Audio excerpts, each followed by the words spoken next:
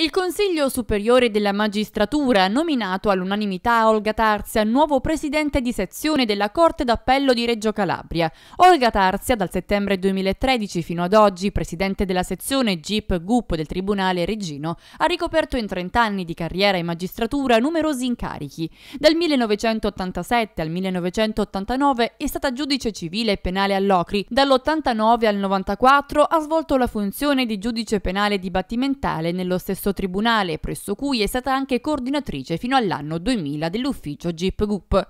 Dal 2000 al 2008 ha ricoperto l'incarico di presidente del Tribunale di Locri e in seguito è stata presidente della sezione penale dibattimentale.